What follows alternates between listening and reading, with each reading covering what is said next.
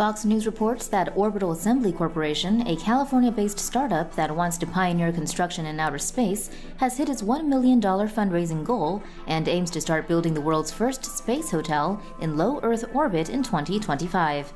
The hotel would be part of a planned space station called Voyager Station and could be operational as early as 2027 with the infrastructure built in orbit around the Earth. The space station would resemble a large wheel that would rotate to generate artificial gravity.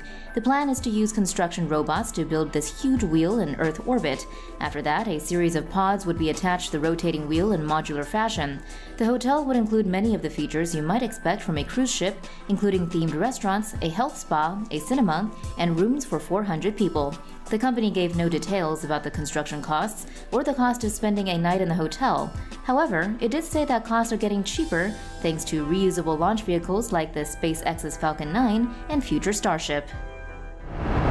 For more news animations and explainers, hit the subscribe and bell button to join the Tomo News family. Thanks for watching.